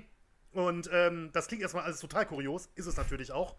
Denn Fournier ist ein, äh, tatsächlich auch ein Profiboxer, offiziell. Er hat neun mhm. Kämpfe, neun Siege, neun K.O.s hat natürlich einen Kampfrekord. Da sieht Christopher Lovejoys Kampfrekord aus wie äh, der von Mohammed Ali, so okay. ungefähr. Ja, ist ein bisschen übertrieben, aber. Ja. Ähm, natürlich hat er absolut einen Witzkampfrekord, wie sonst, ne? wie es halt so ist, wenn so ein Milliardär Profi wird. Entstanden ist diese Idee bei einer ähm, alkoholverhangenen Nacht auf Mykonos tatsächlich, ähm, wo wohl. Ähm, wo sonst nur österreichische Politiker ihre Glaubwürdigkeit verlieren, ja. Wo, ähm, wohl irgendwie eine Dame, die da mit dabei war, von unter mehreren Damen, äh, wohl mal gefragt hat, wohl in die Runde gefragt hat, wer denn wohl einen Kampf zwischen denen gewinnen würde. Und Hey hätte wohl versucht, das Ganze so relativ ähm, ja, vorsichtig auszudrücken, wollte seinen Kumpel jetzt nicht in die Pfanne hauen. Mhm. Und Fournier meinte dann so, er glaubt, heute schlage ich Hey. Und dann, ähm, ja, hat Hey dem wohl ein Sparring angeboten. Das ist jetzt, was Hey erzählt. Ein ja. Sparring angeboten, irgendwie über vier Runden oder sowas. Und Fournier hat dann gesagt, soll man nicht irgendwie äh, das Ganze ein bisschen größer aufziehen? Mhm. Sanktioniert und keine Ahnung was. Und jetzt wird es am 11. September tatsächlich ein offizieller Profikampf sein. Ein Kampf, der in David Hayes Kampfrekord einfließen wird. Tatsächlich gegen einen Milliardär und seinen Kumpel. Ähm, Hayes sagt allerdings selber, es ist kein Comeback. Es geht mir nur darum, Fournier zu zeigen, dass es Levels im Boxen gibt. Ja. ja. Ich muss sagen, ich finde es albern und lächerlich. Ähm, da bringe ich vielleicht einmal ganz kurz äh, den Facebook-User Heiko rein, der sich auch bei uns gemeldet hat, per Facebook, bei Facebook gefragt hat, wie wir das finden. Und er meinte mhm. auch schon direkt, er findet es einfach nur lächerlich. Ja, kann ich ihm nur zustimmen. Julius, ja, zu. Also ich äh, muss sagen, ich habe mich zuletzt äh, mal erinnert, dass ich bei einem ähm, Boxkanal auf YouTube, da ging es irgendwie um die größten Witzkämpfe, die es äh, jemals gab im Boxen. Und ähm, da wurde auf einen Kampf verwiesen mit ja, wenig Bildmaterial gab es leider nur dazu, wo ein brasilianischer Millionär geboxt hat, falls du davon schon mal gehört hast. Nee, nee. Und ähm, der war alles andere als durchtrainiert, sondern hat sich durch Schönheitsoperationen, Sixpack, dann so eine Brust wie ein, so eine Brust wie ein Fass und Bizeps und sowas hinspritzen lassen. Und äh, das hat dann halt alles so gewackelt, während er geboxt hat und er konnte nichts und sollte dann trotzdem äh, als Sieger aus dem Ring gehen, weil der andere dann halt irgendwie aus Verzweiflung ja, sich hingelegt ja. hat oder sowas. Ähm, ich, muss das, ich müsste das nochmal näher recherchieren. Da hat jetzt die Zeit am Wochenende tatsächlich nicht für gereicht, aber wenn da Interesse besteht, kann ich da nochmal nachschauen und da vielleicht liefern, worum es sich da handelt. Ähm, ja, äußerst kurios. Ich hoffe, dass es zumindest besser abläuft als das. Ja, ja das hoffe ich auch. Das hoffe ich auch, ja. So, und dann äh, noch ein paar kurze News. Ähm, einmal international noch. David Benavides gegen José Uzcategui, eigentlich für den 28. August geplant und wäre damit ein Fall für unsere Vorschau nächste Woche, ist verschoben. Denn Benavides hat, ist an Corona erkrankt. Ähm, so wie es aktuell, mein, mein aktueller Stand ist, wird die ganze Karte verschoben. Ähm, mhm. Noch kein neues Datum, kein gar nichts, keine Ahnung. Ähm, dann aus deutscher Sicht, die nächste Petco-Kampfnacht bzw. Veranstaltung steht kommt, also steht so lala, aber kommt am 4. September in Lübeck in der Hansehalle. Im Hauptkampf Shefat Isufi gegen Thomas Adamek, aber nicht den Thomas Adamek, sondern den tschechischen Thomas Adamek. Da gibt es ja zwei. Der polnische, der extrem guter Mann war im äh, Halbschwer Cruiser und später auch im Schwergewicht. Und der tschechische Thomas Adamek, der so geht so ist. Okay, ist europäisches Ja. Level, ja. Genau. äh, äh, außerdem auf der Card Edin Afdic, ein Neuzugang bei, Pek bei Petco, 25 Jahre alt, Österreicher im Mittelgewicht. Der gibt sein Profidebüt. Und äh, dann definitiv noch auf der Card Hovig Bebraham, John Bielenberg, der Super Youngster und Luca Antonio Cinque Onze, ebenfalls ein richtiger Youngster. Es kommt sicherlich noch einiges dazu. Die haben auch alle noch keinen Gegner. Aber ähm, ja, ist Sind doch ja auch ganz noch schön. drei Wochen Zeit, ungefähr. Genau, sind ja auch noch drei Wochen Zeit. Lübeck Aber muss ich. hochgradig überraschend, muss ich sagen. Also, Ich war auch sehr man überrascht. hat im Vorfeld wirklich gar nichts gehört. Also ich meine, natürlich irgendwann muss man es ja zum ersten Mal ankündigen. Aber äh, ja, es wurde ruhig und jetzt sind auf einmal wieder so, jetzt sind die äh, Neuigkeiten da. was. Also das ist Ja, immer so ja. ein bisschen, ja. wie Lübeck überrascht mich, äh, Lübeck überrascht mich aber trotzdem, muss ich sagen. Also ich, ich weiß jetzt nicht, ob einer der Kämpfer da direkten Bezug hin hat. Wüsste ich jetzt auf Anhieb nicht. Nee, wüsste ich auch nicht. Ne, Isufi Also- kommt doch meiner Meinung nach auch da äh, aus, aus Bayern, oder? Ja. Ähm, keine Ahnung, warum man da hingeht. Aber offensichtlich, also man wird mit Zuschauern veranstalten dürfen bei Hygienekonzept. Vielleicht hat das irgendwie eine Rolle gespielt. Das, das Schleswig-Holstein sein, ja. kann ich nicht sagen. Vielleicht hängt das aber auch mit den äh, Sponsoren zusammen, mit dem Kaif oder wie die heißen, die diese äh, Getränke machen. Dass Ah. die da vielleicht noch irgendwie einen Sitz Ah, haben oder so. Keine das, kann, Ahnung. das kann sein. dass Das da kann sein. irgendwie ja. so diese Verbindung ist. Das ist ein guter Hinweis, da ist durchaus, das ist durchaus möglich, ja. So, und dann äh, einmal ganz kurz noch, ähm, jetzt angekündigt, Conor Ben gegen Adrian Granados.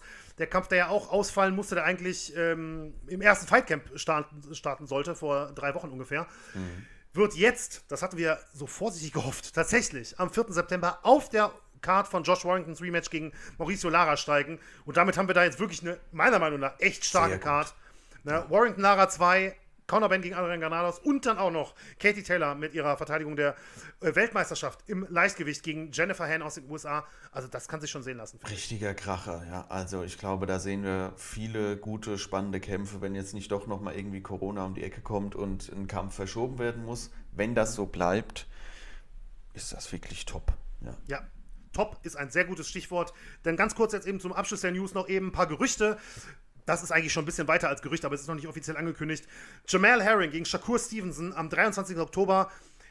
Beide sollen die Verträge bereits unterschrieben haben. Ich gehe davon aus, dass Top Rank sehr, sehr zeitnah ähm, das Ganze ankündigt. Super Kampf, super Ja. Kampf im, im, im Superfedergewicht. Und endlich der Kampf, ähm, auf den ich hoffe bei Stevenson schon vor dem Nachschlag, aber im Nachschlag habe ich es ja mehrfach gesagt, dass der endlich mal einen Topmann boxen muss, wenn er als Topmann gesehen werden will. Ja. Und das passiert hier großartig. Dann im Schwergewicht irgendwie ein Kampf, wo ich sagen muss, hat was. Andy Ruiz gegen Charles Martin soll Gerüchten zufolge auch für Oktober geplant sein. Und auch, wir bleiben im Oktober, Teofimo Lopez gegen George Cambosos. Das ist auch langsam die unendliche Geschichte. Jetzt ebenfalls im Oktober geplant, jetzt wahrscheinlich nicht in Australien, sondern der Mittlere Osten ist jetzt wohl ganz groß im Rennen, weil ähm, ich weiß nicht, ob es jetzt Weil Thriller sie war wollen, dass es nochmal verschoben wird, glaube ich. Da ist Nein, ja im Moment die Lage äußerst ruhig. Das Also, so ein Nein, Quatsch. aber ähm, von irgendwoher, ich weiß jetzt ehrlich gesagt gerade nicht woher, ob es Thriller war oder wer auch immer, äh, oder ein Verband, von irgendwer kam die Ansage, der Kampf muss irgendwo stattfinden, wo es keine Quarantäne äh, gibt wenn der, nach der Einreise. Ich weiß nicht, wer die Ansage gemacht hat, aber irgendwer hat die Ansage gemacht und damit fällt Australien raus jetzt. Und ähm, ja, und das scheint jetzt laut äh, Ryan Kavanaugh, dem Chef von Thriller, der Mittlere Osten, das kann ja auch vieles bedeuten, ne, aber Das wird nicht in ähm, Afghanistan sein. Ja. Vermutlich nicht. Aber, aber ja, soll jetzt auf einmal der äh, Frontrunner sein und ich muss wirklich sagen, dieser Kampf, äh, sorry, die sollen jetzt einfach mal kämpfen. Ja. Wahrscheinlich, ähm, bis der Kampf kommt, ist, ist der WBA-Gürtel nicht mehr gültig. Geht es nur noch um drei. Ja. Das kann, das kann sein, das kann sein, ja. Ach ja. So, ähm, und dann, äh, ja, haben wir jetzt unser Mythical Matchup, unser kleines Special in dieser Folge, in dieser Woche. Wir hatten letzte Woche die Top 5 oder ich sollte die Top 5 äh, KOs von Arthur Abraham äh, mir überlegen, war Julius Aufgabe gewesen. Und dann gab es ja Feedback ähm, aus der Hörerschaft. Mythical Matchup Arthur Abraham gegen Felix Sturm. Das wäre doch mal unbedingt was, was wir besprechen äh, sollten. Das machen wir sehr gerne jetzt hier und es ist sicherlich, ja, wenn man in Deutschland an Mythical Matchups denkt, ich sag mal in den letzten 15 Jahren, ist es wahrscheinlich das Duell, was es da gibt. Ne, jetzt ja. mal davon abgesehen, dass für mich persönlich würde jetzt äh, aus meinen Lebzeiten äh, Henry Maske gegen Darius Michalczewski da an der Spitze stehen. Auch mal eins, was wir gerne mal machen werden. Mhm. Aber Sturm gegen Abraham ist sicherlich, ähm, ja, vielleicht der größte deutsche Kampf wäre das gewesen, den man hätte machen können in den letzten 15 Jahren, behaupte ich jetzt mal ganz kühn. Julius, ähm, ich erteile dir erstmal äh, das Wort. Ich meine, wir kennen beide gut natürlich, sicherlich alle Hörerinnen oder die meisten Hörerinnen und Hörer genauso, ähm, ich würde jetzt mal spontan sagen, wenn wir sagen Prime ungefähr, würde ich jetzt spontan sagen, wir bewegen uns auf jeden Fall im Mittelgewicht. Mm, da würde ich ja. bei beiden, beiden die Prime einschätzen. Und ähm, ja, bei Abraham müsste man wahrscheinlich so sagen, sieben bis acht vielleicht, vielleicht noch sechs bis acht, also 2006 bis 2008 ungefähr ja. in dem Bereich. Bei Sturm vermute ich auch dass man das in den, Reim, in den Raum setzen kann. Ne? Also ich meine, die De La Hoya-Niederlage, da war natürlich schon spitzenmäßig 2004, aber wenn ich mich an den Sebastian Silvester-Kampf erinnere, 2008, das war auch eine super Leistung von ihm. Ja. Ich denke schon, dass man ungefähr sagen kann, vielleicht plus, minus, keine Ahnung, aber weit auseinander waren die von der Prime eigentlich nicht in der Zeit, wo man sich das am meisten hätte wünschen können. Sagen wir beide im Mittelgewicht, beide ungefähr in dem Zeitrahmen. Was glaubst du, Julius? Was wäre das für ein Kampf geworden? Wen hättest du vorne gesehen? Ja, also ich hatte mir ähm, erstmal noch überlegt, einfach nur, weil ich es mir jetzt aufgeschrieben habe, möchte ich die Arbeit wenigstens erwähnen. Natürlich, natürlich. Hatte ich, ähm, hatte ich mir äh, gedacht, so was könnten denn gute Anlässe sein oder eben Zeitpunkte, wo man das mhm. machen könnte. Ja, also Prime ist natürlich, das habe ich jetzt so ein bisschen ausgeklammert. Natürlich das, worüber wir uns Gedanken machen, würde ich auch sagen, zwischen 2005 und 2008 wahrscheinlich im Mittelgewicht. Und ähm, ja, hätte mir jetzt äh, so gedacht, dass 2006 die erste gute Chance äh, ge gewesen wäre auf den Kampf, weil ähm, man dann hätte sagen können, man boxt um Abrahams Titel. Der Zeitraum wäre dann aber vielleicht ungefähr da gewesen, wo Abraham gegen Miranda gekämpft hat. Und ja. um den Kampf wollen wir uns wirklich alle nicht gebracht haben, ja, weil der war ja wirklich sensationell. Also da kann ich dann auch mal auf Sturm gegen Abraham verzichten, ja. Und ähm, das habe ich so als erstes ähm, mir überlegt gehabt, weil da hatte der Sturm ja seinen Gürtel verloren gehabt, bei der ersten Titelverteidigung dann. Und äh, da habe ich gedacht, ja, dann wäre es ja eigentlich naheliegend gewesen, in Deutschland einen anderen großen Namen zu boxen 2006. Kam aber nicht so. Und ähm, ja, dann habe ich mir gedacht, 2007 oder so wäre eine Vereinigung gut machbar gewesen, nachdem Sturm wieder äh, den WBA-Gürtel geholt hatte und Abraham IBF-Gürtel hatte Wäre ja auch mhm. super gewesen zu vermarkten, kam trotzdem nicht. Und äh, dann hatte ich mir gedacht, 2011 nach dem äh, Super Six aus für Abraham wäre das natürlich eine gute Gelegenheit gewesen, nochmal runterzugehen. Also da waren sie jetzt nicht mehr so sehr in der Prime. Das lasse ich mir aber noch angehen, dass ich sage, verlängerter Zeitraum, wo es gut gewesen ja, wäre. Ja. ja. Und ähm, Dafür hätte er halt nochmal ins Mittel runtergehen müssen, was er gesagt hat, das macht er auf gar keinen Fall. Und äh, wenn es denn um einen Titel hätte gehen müssen, ja, ansonsten hätte man ja Catchweight oder sonst was machen können, einfach nur gutes Geld verdienen. Aber darum ging es ja in dem Fall nicht. Und äh, ja, die letzte ernstzunehmende Chance wäre gewesen 2014, 15, als mal im Gespräch war dieses äh, vielleicht Top-4-Duell mit Stieglitz und Brämer noch im Supermittelgewicht. Das hätte ich mir auch sehr gewünscht. Da weiß ich noch, dass äh, bei, beim Boxsportmagazin gab es da, glaube ich, auch so eine Titelseite dazu. Wer ist der eigentliche Chef oder sowas irgendwie? Und ähm, da habe ich damals als Leser mir noch gedacht, oh, das wäre natürlich der Knaller. Und äh, ja, 2020 der Oldie-Fight, der jetzt leider nicht kam. Ja, kurzum, ich äh, muss sagen, wie die Chancen verteilt sind. Ich würde sagen, in der Prime ist es eng, aber da bin ich eher bei Abraham, dass er tatsächlich mit seiner äh, K.O.-Power dann nochmal schocken könnte und vielleicht tatsächlich diese tolle Technik und den Wahnsinns-Chap von Sturm irgendwie ja, ausbremst ja, und ihn äh, umhaut, was ja Sturm zum Beispiel, würde ich sagen, gegen Abraham nie gelingen würde. Dafür fehlt ihm einfach die, äh, die Kraft in den, in den Fäusten und äh, das hätte immer nur ein Punktsieg werden können. Man hat dann aber zum Beispiel jetzt, wenn man einen anderen Zeitpunkt wählt, 2011 äh, im Super Six äh, und danach auch 2014, 15 wurde ja vorgemacht eigentlich im, im Vorfeld, wie man Abraham hätte gut ausboxen können und dass er halt schon limitiert ist, ähm, spät startet, nur über die Kraft kommt, immer in der Doppeldeckung ist und wenn man, ja, also so, ich hätte dann 2011 und 2014, 15 ähm, hätte ich Sturm dann mehr Chancen ausgerechnet, eben über die bessere Technik Abraham da ins Leere laufen zu lassen. Wenn man sich da nicht erwischen lässt und Sturm hat ja eigentlich auch ein ziemlich gutes Kinn- und Nehmerfähigkeiten bewiesen gegen andere harte Hunde, muss ich sagen. Ja, das siehst du vielleicht anders, aber ähm, würde ich dann sagen, da hätte man dann ein, zwei wegstecken können oder er geht mal runter und äh, zieht dann aber trotzdem noch durch. Das wäre jetzt so meine Einschätzung. Aber tatsächlich in der Prime, die du jetzt festgelegt hast, bin ich pro Abraham. Wie siehst du das? Denn? Wir können, nee, ich finde das, ich, also ich finde das super, dass du das versucht hast, so zeitlich nochmal aufzuteilen ähm, in die ja, möglichen Phasen, wo der Kampf vielleicht mhm. gut hätte kommen können. Und da, das ist nämlich besonders gut, weil es auch aufzeigt, äh, ja, dass es mehrfach eigentlich wirklich die Möglichkeit gegeben hätte, aus Veranstalter-Promoter-Sicht zu sagen, das machen wir. Ne? Ja. Ähm, das, äh, es ist nicht so, dass man eine Chance mal verpasst hat und dann war es das, so nach dem Motto, ne? sondern der Kampf wäre über eine ganze Weile hinweg oder in mehreren Phasen immer wieder wahnsinnig interessant gewesen ja. und hätte, ähm, ja, der, der, größte deutsche Kampf sein können dann in der, in der Zeit. Ob mit Abstand, so mit, ja. wirklich mit Abstand sogar.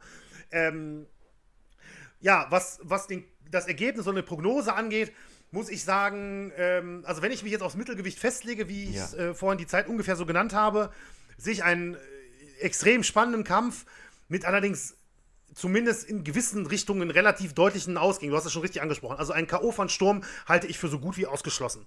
Ja, ähm, das kann ich mir überhaupt nicht vorstellen. Da ist einfach nicht genug Schlagkraft. Dann Abraham noch mit der Doppeldeckung, ähm, natürlich, die auch immer sehr stabil war. Ich wüsste nicht, wie, wie Sturm ihn da wirklich stoppen soll, wenn das nicht mal Karl Frotsch geschafft hat oder sowas, ne? Ja. Als Beispiel jetzt.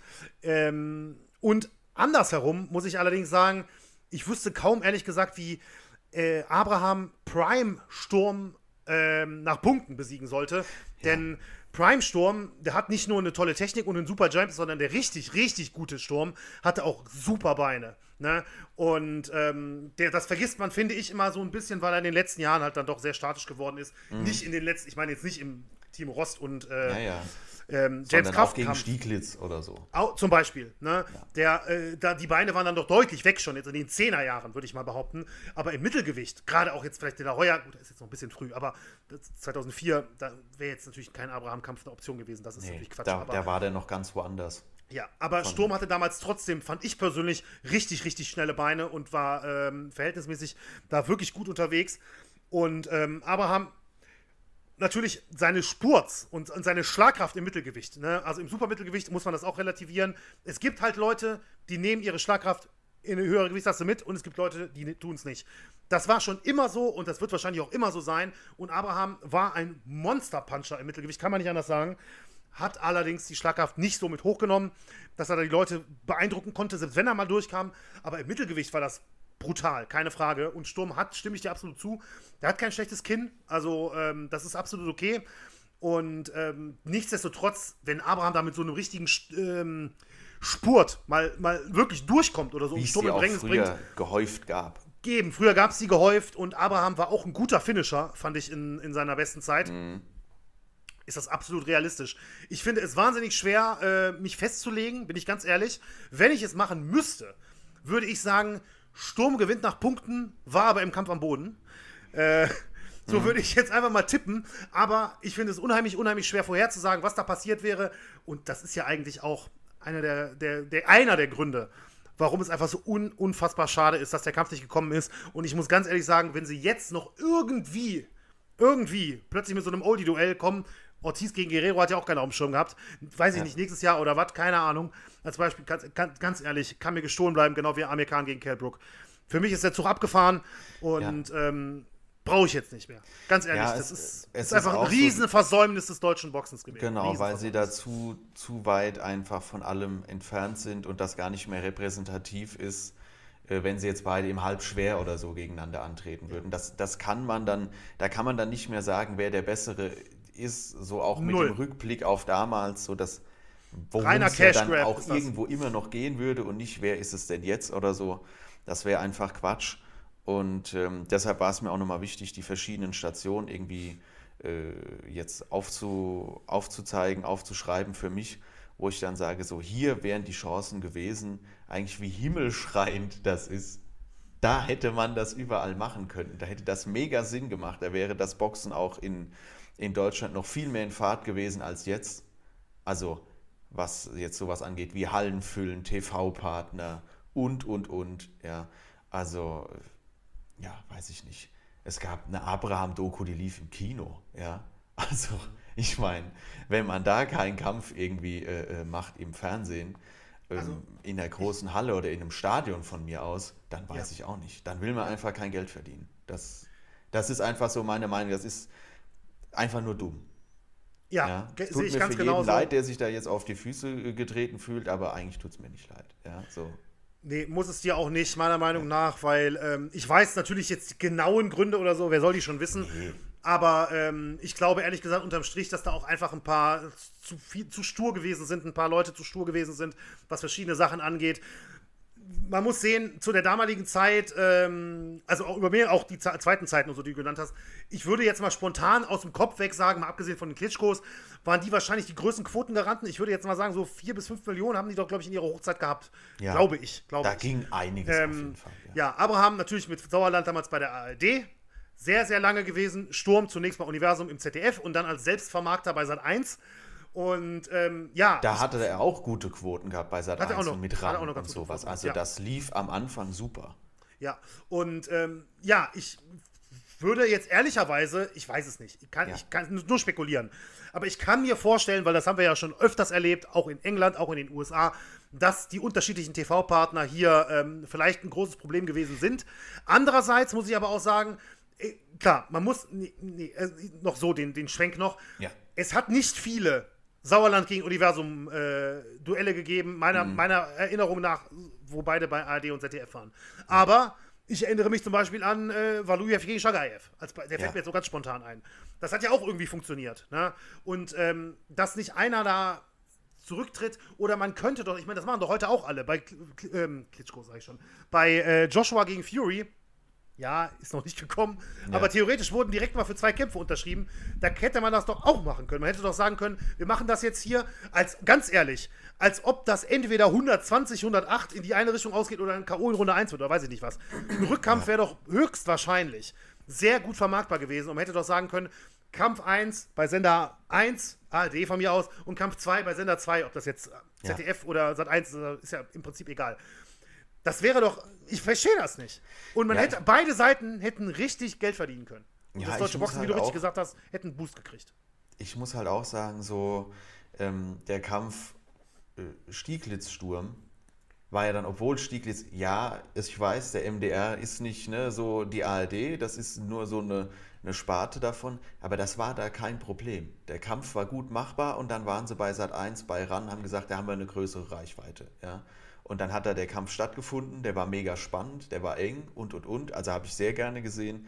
Da ich dachte so, da ging es doch. Also da hat man es ja doch bewiesen, da hätte man ja noch sagen können, hey, Top 4 Turnier machen wir jetzt noch. Das war ein Unentschieden. Wie sieht es mit den anderen aus?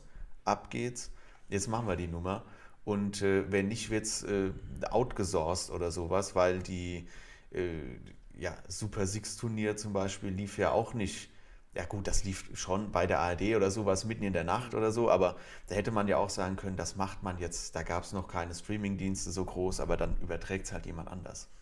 Ja. Dann gut, dann wäre es schwer, die auch bei den TV-Partnern rauszubringen. Also an der Stelle wäre es eigentlich interessant, man hätte irgendwie, äh, dass sich das in den nächsten 50 bis 100 Folgen nochmal ergibt, dass man jemanden dazu bekommt, der sich mal äußert, dass wir mal interviewen können, so, weiß ich nicht, äh, hinter den Kulissen damals, als es nicht geklappt hat bei Abraham Sturm. Ja.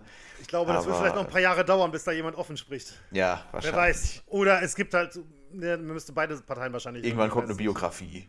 Ja, ja aber da muss man natürlich auch gucken. Ja. Die andere Seite wird dann sagen, das stimmt doch alles gar nicht. Es ja, ist alles klar. immer sehr schwierig in solchen Fällen. Ja. Ich weiß, es, ich, es, unterm Strich bleibt für mich vor allem die Erkenntnis, schade.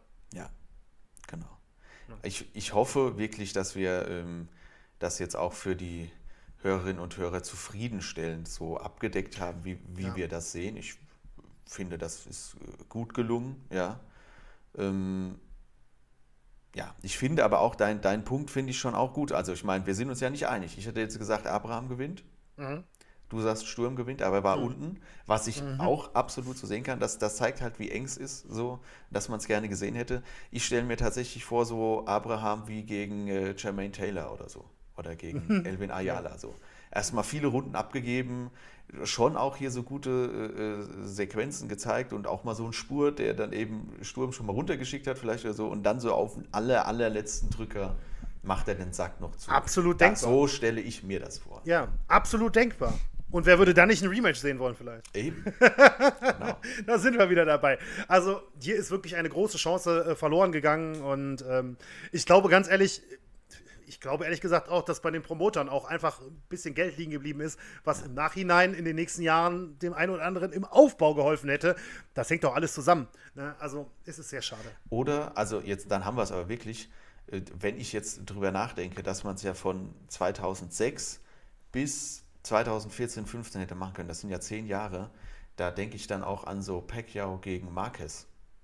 Ja über Jahre oder Jahrzehnte, sage ich mal, Dekaden übergreifend dieses Duell. Und dann machen sie es von mir aus 2020 nochmal. Aber dann haben die Leute die Kämpfe davor gesehen.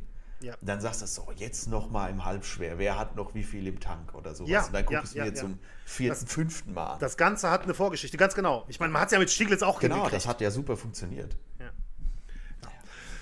So, ähm, ja, dann ähm, schließen wir das Kapitel jetzt erstmal ab. Wer weiß, ob nicht doch noch was kommt. Ich würde nichts ausschließen, wir sind immer noch im Boxen.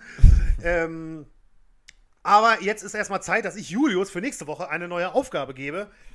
Ähm, denn Julius ist nächste Woche wieder dran mit einer Top 5, bevor wir in der Woche danach natürlich wieder ein Mythical Matchup haben, was ich mir dann aussuchen darf. Da freue ich mich mhm. schon drauf. Aber jetzt ist erstmal Julius äh, dran in der kommenden Woche. Und ich habe mir gedacht, ich weiß, wir sind jetzt ein bisschen sehr national gewesen, aber einmal würde ich es gerne noch machen. Mhm. Denn ähm, wir haben jetzt hier die Oldies groß besprochen. Äh, Sturm Abraham, zwei der größten Namen natürlich der letzten 15, mindestens 15 Jahre im deutschen Boxen, vielleicht sogar fast 20 Jahre, kann man sicherlich sagen da habe ich mir gedacht, es wäre auch durchaus jetzt angebracht, vielleicht für die Top 5 der nächsten Woche, wenn wir mal ein bisschen auf die Jüngeren schauen. Mhm. Und Julius, du erinnerst dich vielleicht, wir hatten vor einigen Monaten, ich glaube, das war letztes Jahr sogar noch, mhm. mal ähm, eine Top 3, einfach nur mal so uns überlegt. Das ist allerdings international gewesen und nicht national.